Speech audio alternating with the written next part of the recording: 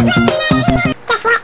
I'm gonna tell you a story about a time a little boy went out in the night like he was cutting some lettuce, and his father was with him too. I asked Billy, don't mess up the thing and cut off this.